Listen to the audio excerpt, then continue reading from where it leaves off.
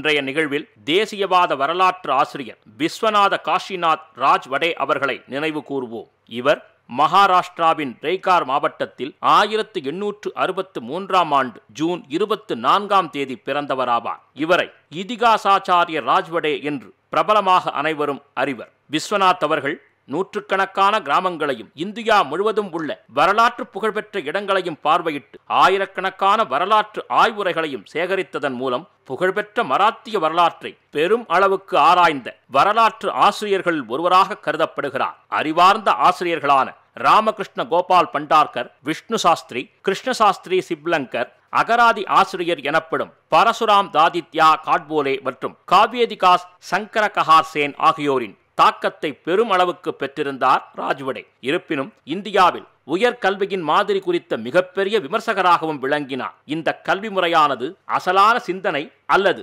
ஆராய்ச்சிக்கு பயன்படாது என்பது அவரது கருத்தாகும். ராஜ்வடே பிரிட்டிஷ் வேலை வாய்ப்பை எதிர்பார்க்கவில்லை. அத்தகைய வேலை வாய்ப்பை மறைமுகமான அடிமைத்தனமாக அவர் எண்ணினார். இவர் உலக புகழ்பெற்ற இலக்கியங்களை மராட்டியில் மொழிபெயர்த்தார். பாஷந்தர் என்ற மாத இதழைத் தொடங்கினார். பிளாட்டோ அரிஸ்டாட்டில் மற்றும் எட்வர்ட் ஜிப்பன் போன்ற மேலை நாட்டு தத்துவ ஞானி மற்றும் அறிஞர்களின் படைப்புகளை அந்த மாத இதழ் மூலம் வெளியிட்டார். மேலும் இந்திய அறிஞர்களான சங்கராச்சாரியா போன்றவர்களின் படைப்புகளையும் மராட்டியில் கொண்டு வந்தார். சொற்பிறப்பியல் நிபுணர் சமூக விஞ்ஞானி வரலாற்று இலக்கணவியலாளர் ஆராய்ச்சியாளர் என்று அரிதான பலவகை திறன் படைத்தவராக விளங்கினார் ராஜ்வடே. பிரிட்டிஷ் வரலாற்று ஆசிரியர்களால் எழுதப்பட்ட மராத்திய வரலாற்று புத்தகங்களைக் கண்டு அவருக்கு மகிழ்ச்சி ஏதும் ஏற்படவில்லை. அவை பிரிட்டிஷாரிடம் அடிபணிந்த மக்களின் பார்வையில் வெற்றியாளர்களை நிலைநிறுத்த முயற்சி செய்தன. எனவே உள்நோக்கமற்ற வரலாற்று பார்வையை முன்வைப்பதற்காக ராஜ்வடே முயற்சி மேற்கொண்டார். இதற்காக இவர் மகாராஷ்டிர பிராந்தியம் முழுவதிலும் சுற்றுப்பயணம் மேற்கொண்டார். கலை கட்டிடக்கலை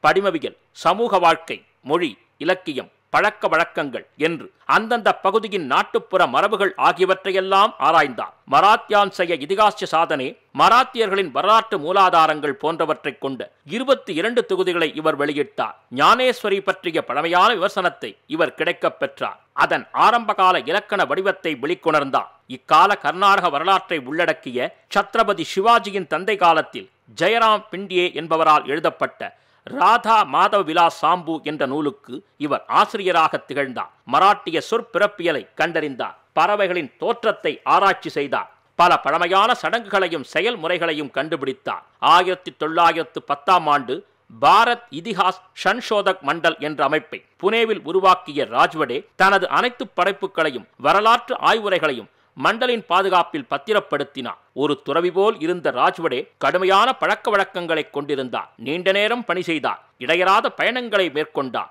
ஆயிரத்தி தொள்ளாயிரத்து இருபத்தி ஓராம் ஆண்டு டிசம்பர் முப்பத்து ஒன்றாம் தேதி ராஜ்வடே மரணமடைந்தார். இந்த மாபெரும் தேசியவாதிக்கு நாம் வீர வணக்கத்தை செலுத்துவோம். அடுத்ததாக பஞ்சாபைச் சேர்ந்த லூதியானாவில் ஆயிரத்தி தொள்ளாயிரத்து இருபத்தி நான்காம் ஆண்டு ஜூன் இருபத்து நான்கில் பிறந்த தியாகி ரஞ்சித் சிங் அவர்களையும் நினைவு கூறுவோம் ஆரம்பத்தில் ரஞ்சித் சிங் பிரிட்டிஷ் இந்திய இராணுவத்தில் சேவை செய்தவராவார். ஆனால் ஆயிரத்தி தொள்ளாயிரத்து நாற்பத்தி இரண்டாம் ஆண்டு சிங்கப்பூரில் இந்திய தேசிய இராணுவத்தில் இணைந்தார்.